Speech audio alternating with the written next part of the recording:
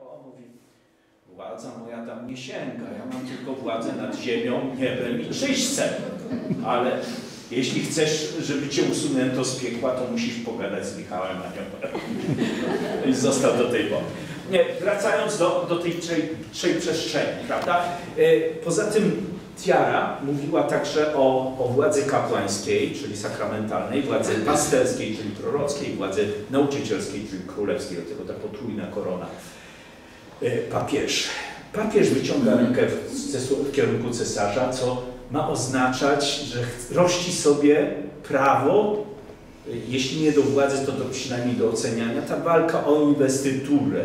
Proszę zobaczyć na, na cesarza, którego y, ma koronę na wzór samego króla, którego wszystkie mm, elementy schodzą w jednym, czyli ma w jednym i on zamyka oczy, to znaczy przyjmuje święcenia, znaczy namaszczenie na króla, ale później to on sobie rości znowu prawo do, do, do władzy duchowej, dlatego się w kierunku zwraca, prawda? Czyli ta walka, zanim oczywiście mamy tutaj książąt, prawda, mamy arystokrację, to są ci, którzy nie muszą zabiegać o ten, ten, oni są uprzywilejowani, do nich ten świat należy. Dlatego oni na koniach jadą, nie walczą o tę kawałkę garstkę siana, to dla nich należy.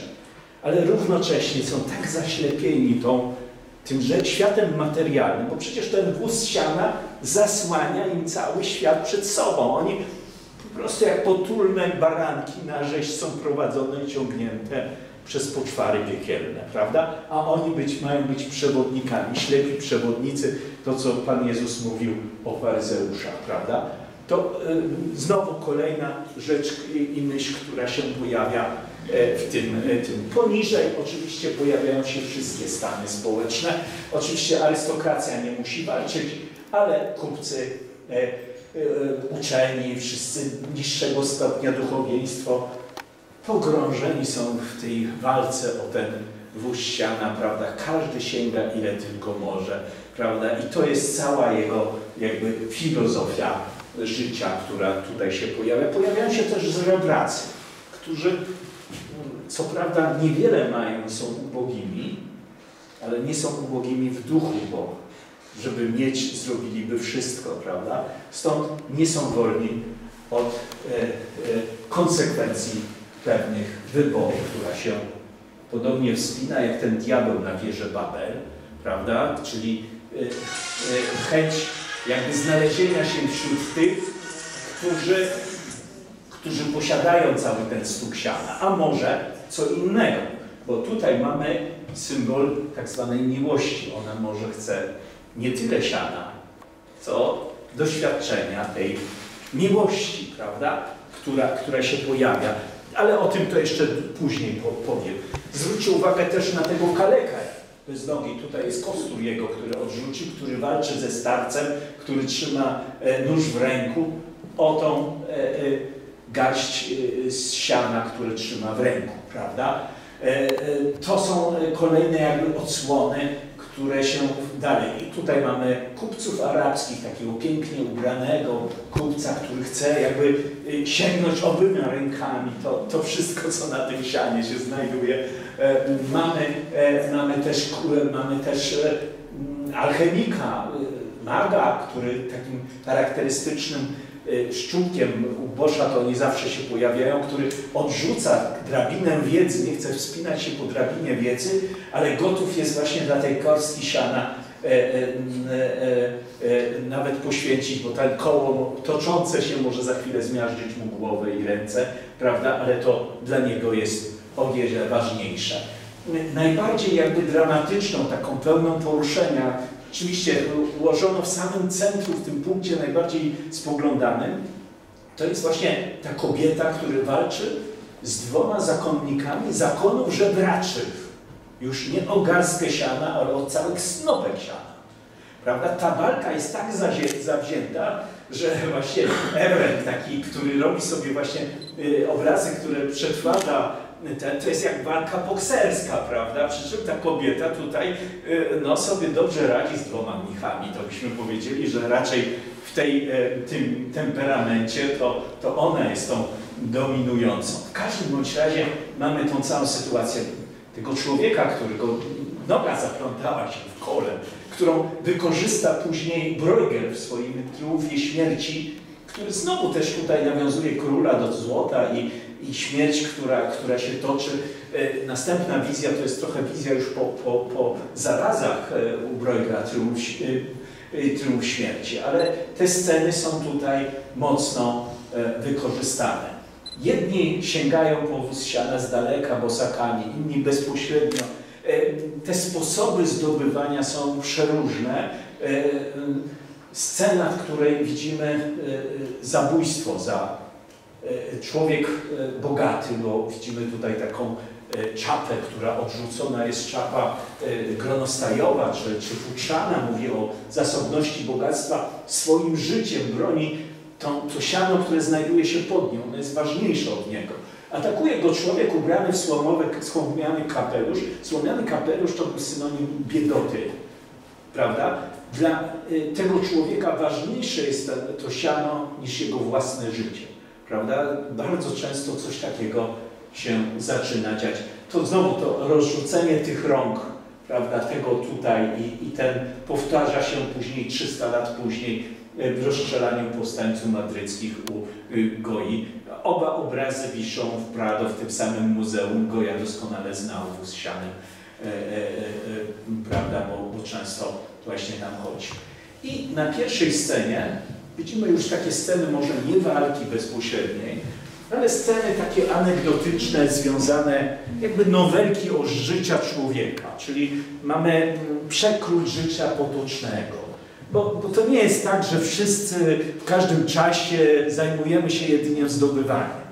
Czasem sobie odpuszczamy, nie wiem, kobiety, które mają małe dzieci, no jakoś tam zostawiają te sprawy mężom, ale swoje jakby życie toczą. I tutaj mamy jakby poza tą wielką gonitwą i wielką walką e, e, z wozem siana. Mamy tutaj postać wędrowca z dziećmi, dwie plotkujące ze sobą kobiety.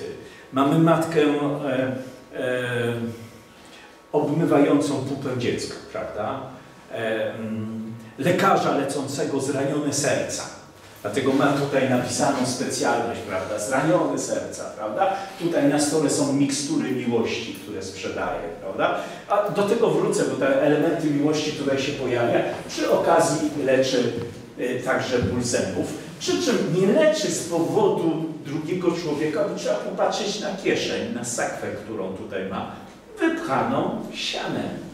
To jest jeszcze jeden rodzaj jego zdobywania właśnie jakby tym. Często przez te, te wszystkie mikstury, prawda, które są na miłość, na, na, na, na różne bóle, to często bazują na oszustwie. Dalej są też e, zakonnice z zakonu żebraczego, E, co prawda zakonnice same nic nie mają, ale klasztor, prawda, no, stawia się w coraz większe takie mm, zdobywania i co, staje się coraz bardziej jak mrówki uganiające się za napełnianiem wora e, maksymalną ilością siana. Oraz mnich zbyt gruby, aby się schylić, raczący się jakimś strunkiem, prawda, który, który jest. A więc mm, proszę zwrócić uwagę na, na ten aspekt duchowny, który się tutaj pojawia. A więc mamy papieży, mamy y, mnichów, zakonów żebraczych walczących o tą wioskę, mamy grubego mnicha, mamy zakonnice, które się jakby zajmują. Jest taki mocny akcent papieża, który idzie za wozem zamiast prowadzić świat ku, ku, ku Królestwu Bożemu. Tutaj Boż nie kryje swojego rozgaryczenia i jakby takiego mm, E, takiego e, no, przeczucia, że coś jest nie tak. E, proszę zwrócić uwagę, że kiedy, kiedy umierał Hieronim Bosch, to był 1516. Rok później na drzwiach Wittenberdze Marcin Luther wywiesza swoje 95 tez. Prawda? Czyli już tam podskórnie, to, to nie jest tak, że wystąpienie Lutra czy cała e, ten nie miało swoich powodów. Prawda? No więc e, e, niemniej jednak Bosch na pewno nie byłby pośród zwolenników Marcina Lutra. Był zbyt ortodoksyjny, zbyt wymagający. To, co się stało później, prawda, to palenie ksiąg, palenie kościołów. Ja akurat pochodzę z rejonu, kiedy wszystkie stare kościoły, Kościelców, Rzębocinie, z czasów jeszcze romańskich, e, ołtarze i wszystkich wystrów mają z końca XVII wieku, bo czasów palwińskich wszystko wy, wyrzucono i wypalono, prawda, docnano, bo to, to ten e, e, ikonoklazm kalwiński, który się wtedy pojawił. Palenie ksiąg, wzajemne zabójstwa, morderstwa. My żeśmy się jakby w jedności, e, narody się podzielili, e, przestaliśmy mówić jednym językiem, podzieliliśmy się religijnie, Europa stała się gorsza niż lepsza po tym e, wszystkim wystąpieniu, niezależnie od reformowania. Nie wszystkie jednak postacie są negatywne w tej obrazie. Są malutkie pierwiastki jakby y, y, pewnego dobra. Kiedy się dobrze przypatrzymy, proszę zobaczyć, wśród tych postaci jest zakonnica, która się jakby od tego odwraca. Składa pobożnie ręce i modli się na różańcu. Co prawda jest obok niej ten gruby mnich raczący się jakimś trunkiem, który nawet zapomniał o różańcu, prawda, odłożonym, e, no ale ta postać jest pozytywna. Kolejna postać, kobieta z dzieckiem, modląca się, e, prawdopodobnie przy umierającym e, mężu. I druga postać ciemna, która ją ze współczuciem okrywa, jakby się odwracają od całego tego, tego świata. I jest jeszcze jedna tajemnicza postać, takiego proroka półnagiego, wskazującego palcem na ust przemawiającego do pozostałych, jak niedawne wystąpienie Savonaroli chociażby, prawda, który bardzo mocno piętnował, spalony na stosie, no właściwie w czas, parę lat po, y, przed namalowaniem tego obrazu tej pierwotnej wersji, prawda, który się pojawia. Ale takich reformatorów się pojawia. Jeszcze jest jeden aspekt. Mianowicie e, nie tylko jest rządza posiadania e, największej ilości dóbr doczesnych. E, Hieronim Bosch w swojej wizji życia doczesnego widzi także i rządzę miłości, która jest nie mniej ważnym elementem rządzącym człowiekiem. I warto tutaj zwrócić uwagę na tego trefnisia, grającego na dudach, którego kusi zakonnica garstką siana. Trefnisie to były w tamtych czasach tacy ludzie, których uważano za grzeszników w ogóle, prawda, czyli żyjących trefnisie, trubadurzy, no tacy lekkiej, łatwej miłości, prawda. Ta dolna scena obrazu być może przedstawia sprzedajną miłość. I łącząca się z tą scena e, e, na samym szczycie. Ona może mniej poświęca obrazów, ale jest za to mocniejsza, dlatego że na tle samego nieba, wyobcowana, łatwa do zauważenia. I tutaj mamy alegorię miłości zwodniczej i miłości prawdziwej. Dwie postacie. E, anioł stróż jedynie dostrzega Chrystusa, czyli miłość prawdziwą. Pozostałe postacie tej sceny to bohaterowie wciągnięci w diabelską ułudę, będącą jedynie namiastką prawdziwej miłości. Anioł stojący na szczycie wozu modli się o wstawiennictwo Chrystusa za ludzkość, która, która podąża w niewłaściwym kierunku. Anioł i demon zestawioni ze sobą na samym górze szczytu, szczytu yy, wozu siał, naprzeciw siebie. Jeden i drugi zabiega o człowieka, o jego uwagę, o jego duszę. Anioł i demon to symbole dwóch e, idei miłości. Tej czystej, duchowej, wiecznej i tej fałszywej, zrodzonej z namiętności, trwającej tyle samo, co sama muzyka, e, póki jeszcze trwa. Dlatego demon przygrywa e, tej ludzkiej, próżnej miłości. Po przeciwnej stronie stoi demon w takich niebieskich barwach. Błękit to kolor nieba, ale tutaj nie mamy błękitu, to jest siność to jest e, e, hipokryzja, to jest udawanie, to jest zwodniczość. On po prostu przedstawia tą swoją ułudę miłości jako coś szczytnego i prawdziwego, co jednak nasycić serca człowieka nie zdoła. Demon przygrywa na nosie, kusząc śmiertelników swoją fałszywą muzyką. Szatan przygrywa miłości ziemskiej. I stojąca z tyłu para zasłuchana w tą demoniczną mm, melodię. Diabelskie sztuczki powodują, że ludzie tracą z oczu Boga i, lekko, i lekkomyślnie prą ku zatraceniu, prawda? Tutaj jest symbol zdrady, prawda, jakichś tam, prawda, czaków i tak dalej. To nad demonem znajduje się sowa, wabi ptaki. Sowa to jest ulubiony ptak u Hieronima Bosza, jeden z takich najbardziej tajemniczych, który zawsze symbolizuje ułodę i niecne zamiary. Wszędzie, gdzie te sowy się pojawiają, tak samo na tym e, synu marnotrawnym wędrowcu, nad nim znajduje się właśnie ta sowa. E, za krzakiem jest jeszcze podglądacz. Symbolizuje porządliwość oczu, bo to, że ktoś e, nie, nie, nie popełnia czynem, to nie znaczy, że serce ma czyste, prawda? Bo jeszcze jest ta porządliwość oczu. Tu są te różne kategorie związane z porządliwością. Kruchość ziemskich przyjemności symbolizuje garnek zawieszony na kiju e, nad podglądaczem. E, w kuszeniu świętego Antoniego będziemy mieli zawsze często takie postacie przy okazji właśnie tych przyjemności cielesnych, że oni są obuci e, zamiast buta dzbanek. Dzbanek jako but jest chwilowy, znaczy chwilowe daje jakby ukojenie, ale kiedy się potłucze, to potwornie nas zrani, nie? Więc to jest właśnie powiedzenie o czymś, co co, co jest niewłaściwe. Wysoko nad chmurami, z dala od ziemskich grzechów, został ukazany miłosierny Jezus, Chrystus zmartwychwstały, który spogląda na e, e, rozgrywającą się przed nim scenę, okazując stygmaty swojej męki, czyli e, elementy swojego miłosierdzia, że krwią odkupił i zbawił człowieka. Wystarczy tylko się za, za nim opowiedzieć, prawda?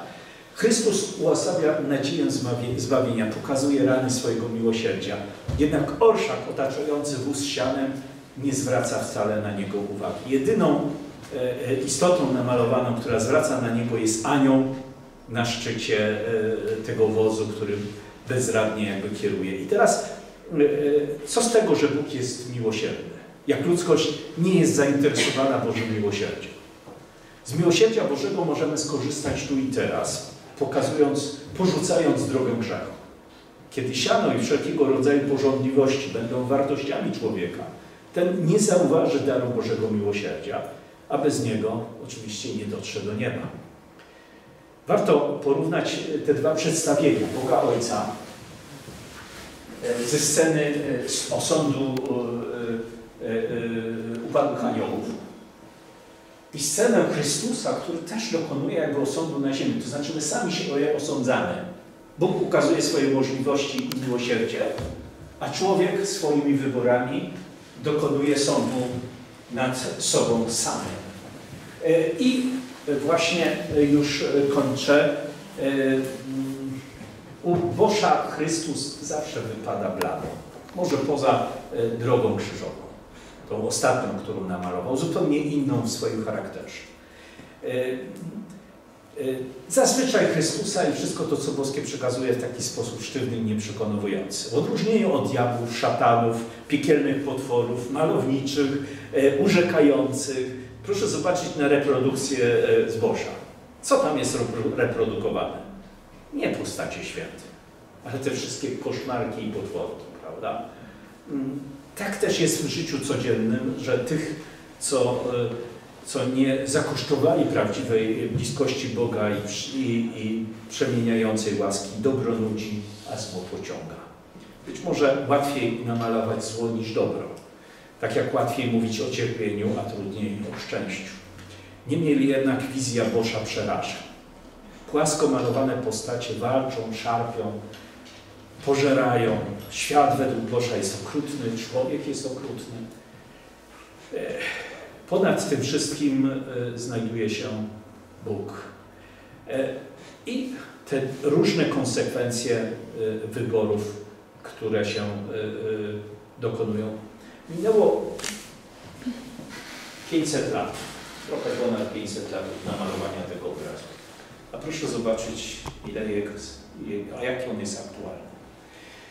Jest też dużo odwołań do, do obrazu Boscha. Może właśnie, ponieważ Boscha nie da się tak naśladować, no to tak jak ta fotografia może tam powsadzać coś tam jeszcze. Ale można podejść jakby do, do, do samej idei. Proszę zobaczyć na obraz y, Roxa, Wielki Powód z 1893. To jest właśnie ten wóz. Tutaj mamy wóz siany. Tutaj widzimy właśnie te postacie. Tu krzyż złamany, y, wdeptany w błoto. Jakby y, pokazuje kondycję ludzką pod koniec XIX wieku, która doprowadziła potem do wybuchu pierwszej, a potem drugiej wojny światowej.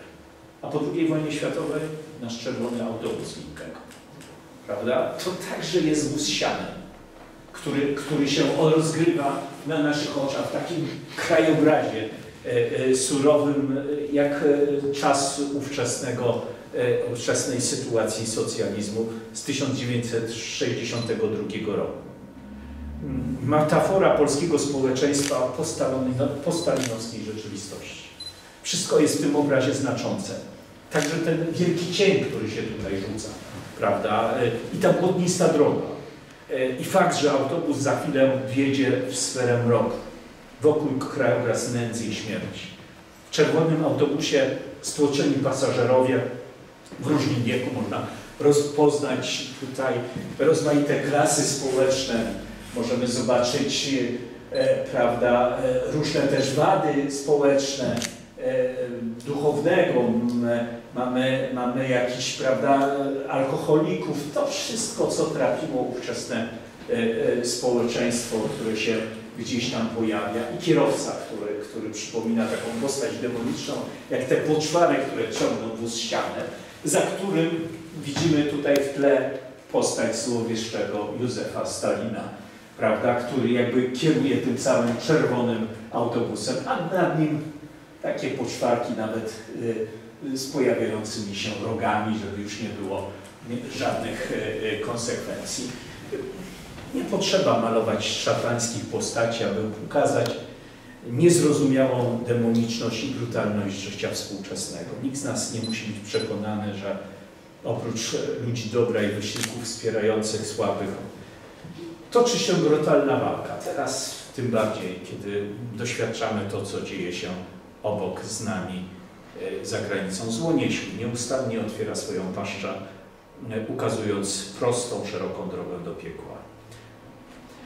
I tu jeszcze Alfreda Kubina, no i, i postać, prawda, wozu z sianem, którym ktoś tak pięknie napisał, to zacytuję, że mm, tytułowy wóz z sianem jest pchany od lewej, od światów, świata ide, ideałów, do prawej, gdzie już tylko e, pożoga i terror.